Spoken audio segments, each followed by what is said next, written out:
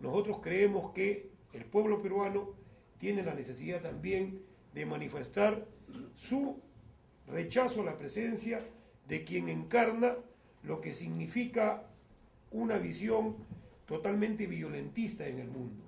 Si en algún momento se ha puesto en riesgo la paz en el mundo, ha sido justamente por las acciones de provocación que ha desarrollado este señor Bush.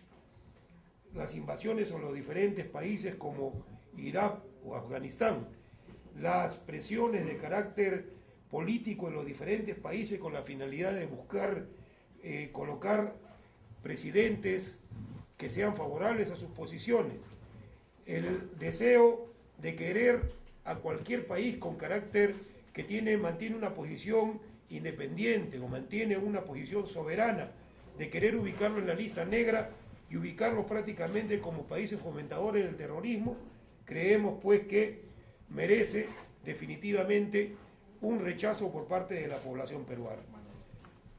En este sentido, eh, hemos programado este acto que tiene varias, eh, varios temas. En primer lugar, lo llamamos político-cultural porque justamente estaremos desarrollando en el proceso del acto la presentación de tres, eh, lo que le hemos denominado tribunales o tribunas. La primera parte sería el tribunal antiimperialista, donde se van a abordar diferentes temas relacionados al papel que ha venido jugando el imperialismo y particularmente el presidente Bush. El segundo va a ser la tribuna de la juventud, donde los jóvenes también estarán exponiendo la situación a la que se ven sometidos fundamentalmente la juventud migrante, la que en estos momentos prácticamente recibe todo el conjunto de presiones que se dan en países como los Estados Unidos, donde todos sabemos en qué condiciones están nuestros jóvenes. Y el tema de la mujer, donde también se va a abordar el grado de marginalidad en la cual vienen implementando justamente este gobierno norteamericano y lo que significa el propio modelo. Esto será ampliado por los compañeros que están representando por cada una de estas mesas. Paralelamente a esto, estaremos desarrollando la presentación de diferentes eh, expositores de la, del arte popular.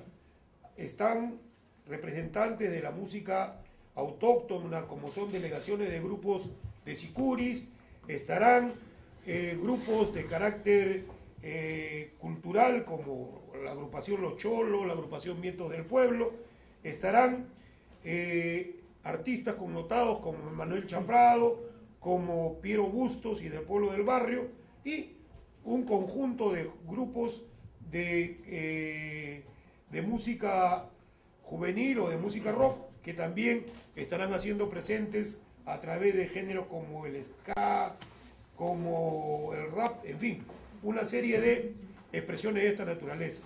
O sea, se trata de un encuentro total, un encuentro donde vamos a conjugar la representación de lo que significa la visión de los expositores y la visión de nuestro pueblo para denunciar las actitudes del imperialismo y a su vez una actitud de reafirmación de nuestra cultura nacional, porque definitivamente todos sabemos cómo el grado de dependencia que se quiere involucrar a nuestros pueblos no solamente es en torno a una dependencia de carácter económica, sino también una dependencia de carácter cultural donde se busca despersonalizar a nuestros países. Nosotros, eh, como coordinadora política social Mujeres, vamos a tener lo que llamamos la carpa de la mujer. En esta carpa de la mujer vamos a iniciar las, nuestras actividades en primer lugar, pasando dos capítulos de la película El Amauta, sobre la vida de José Carlos Mariate. Este, el primer capítulo es la infancia de Mariate y el segundo capítulo es Mariate y periodista. Una vez que nosotros hayamos pasado esto, vamos a abordar el primer tema. El tema es Mariate, el antiimperialismo, la influencia de las mujeres en la vida de Mariate y la posición de Mariate frente a la mujer. Posteriormente, la compañera Ibe Fernández, que es la coordinadora de turno de, la, de las mujeres en este momento, va a tocar el tema el imperialismo, la mujer y Mariate. La compañera Inés Rodríguez de Voz Socialista hablará sobre el liberalismo y la mujer. La compañera Gloria Pérez cerrará esto con el tema el imperialismo, la mujer, Bush y su política, la influencia y las repercusiones de la política de Bush en las mujeres y en especial las mujeres de nuestro continente y del Perú. Eso lo va a tocar, vuelvo a repetir, la compañera Gloria Pérez. Posteriormente, nosotros vamos a discutir dentro de nuestra carpa y vamos a conversar con las mujeres y los hombres que quieran discutir estos temas. Esa es la parte y ese es el rol que le va a corresponder a la coordinadora política de mujeres en este, en este acto del día 21. Tribunal Antiimperialista se van a abordar cuatro temas. El tema es el, primero, la política de guerra y genocida del Mr. Bush, va a estar a cargo del especialista David Tejada. El segundo tema es la crisis económica del neoliberalismo y su impacto en el mundo, va a estar a cargo de Raúl Biner. El otro tema va a ser la violación sistemática de los derechos humanos, a un representante de la Coordinadora Nacional de Derechos Humanos. Y finalmente la, destrucción del medio ambiente en la política imperial. Eso va a estar a cargo de la ambientalista Roger Rumil. Como bien se ha dicho, este es, una, es un tribunal ético de juzgamiento en que se van a exponer estos temas y los asistentes van a discutir, van a aportar y finalmente las conclusiones se va a leer en el momento siguiente que va a ser el acto político.